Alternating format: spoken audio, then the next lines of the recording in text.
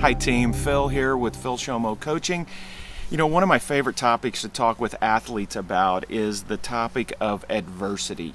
Adversity is one of these things that everybody faces. Everybody faces adversity, both externally and internally. And whoever navigates adversity the best, I think, is one of the great differentiators in athletic competition. It's actually also one of the great differentiators in business, in relationships, in pretty much all of life. Adversity comes to all of us. Some of us are just surprised by it, and some of us are actually prepared for it. And those who are prepared for it end up having an enormous advantage in athletics, I would go so far as to say I believe that those who navigate adversity the best are by far out in front of all of the competition. You know, when adversity comes to us in any realm of life, there's really two options. I like to frame those two options as option number one is what I call reflex reaction, and option number two is what I like to call reasoned response. Let me just unpack just what I mean by those just a little bit. So, reflex reaction is this quick, automatic, impulsive response. It's this adversity comes and we just have this reflex reaction to the adversity. It happens fast and it happens impulsively. Ryan Holiday, in his book, The Obstacle is the Way, says that everything is planned down to the letter and then something goes wrong, and the first thing we do is trade in our plan for a good old emotional freak out. Freaking out is just a great example of a reflex reaction. Reflex reactions tend to be extreme for a lot of people who who just fall into reflex reactions, they tend to do th things like ignoring adversity or fighting adversity. Maybe maybe their their go-to is just downplaying how big a deal the adversity is Maybe their go to is blaming someone or something for the adversity. Maybe their go to is catastrophizing the adversity, making it even bigger than what it is. For some people, they internalize the adversity, they, they become the adversity. The adversity takes them over, and they begin to see themselves as just a victim of the adversity. The adversity has taken control. But the opposite option, the other option, the better option, the advantageous option is what I call a reasoned response. A reasoned response is where we pause and we have some thoughtful decisioning about how we're going to respond. We give some reasoning to our response to the adversity. A great question to just get in the habit of asking whenever adversity comes is just learning this habit to ask the question, what can I do right now to turn this adversity into something helpful for my ultimate objective? What can I do right now to turn this adversity into something helpful?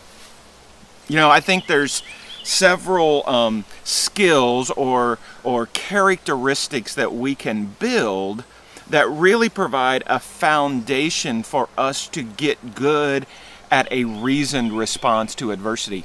If we'll grow in these in these skills, our capacity to respond to adversity in a reasoned way and take an advantage become greater and greater and greater. I'll just name half a dozen. There could be a ton.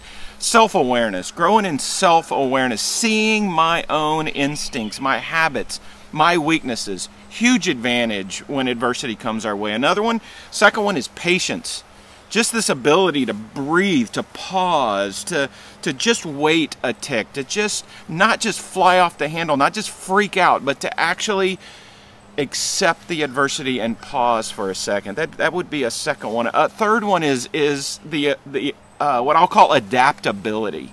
Adaptability is this idea that you can be flexible, you can adjust. You don't just have to go down one path. When there's obstacles, hurdles, and adversity, there actually can be alternatives. Adaptability, huge asset. A fourth one I'll name resourcefulness. Resourcefulness is this idea of being creative, stretching what we have, being able to think outside the box, rearranging our plans, our strategies, our resources, our skills, our abilities, resourcefulness, huge asset if we're gonna gonna give a reasoned response to adversity. A, a, a fifth one I'll name is self-control.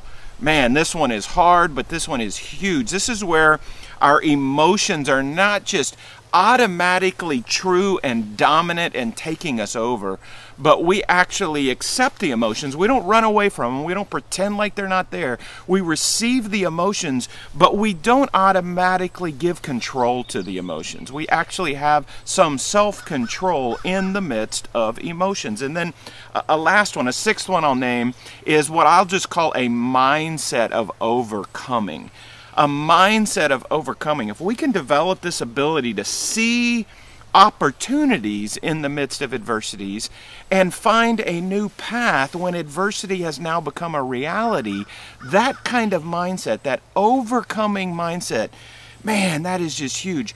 Those are just several. There could be more, but those skills, those characteristics really provide a foundational layer for us to be fully prepared for adversity. Adam Sicinski is a life coach who said this on his website not long ago. Adversity provides you with an opportunity to grow, develop, and learn from the experience in ways that you never planned or imagined.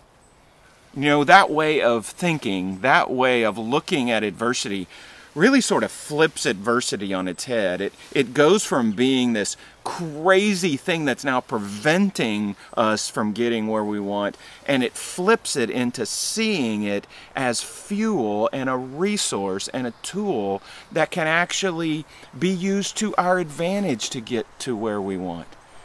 You know, I think it's always got to start whenever adversity comes our way, and adversity is in our lives right now on a worldwide stage bigger than it's been probably in 80 years or more.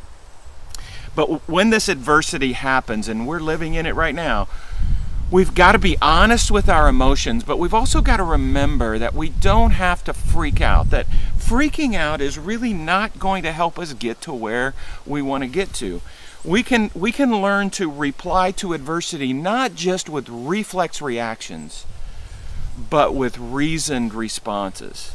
You know one is a massive disadvantage. It's almost never an advantage to just have a reflex reaction when an obstacle hurdle adversity comes our way externally or internally. That reflex reaction almost always gets us in trouble. But if we learn that reasoned response reasoned response with those kind of characteristic traits building up underneath it that I named a few minutes ago, that can really become an advantage for us. Now, I know you're all living in adversity. I'm living in adversity.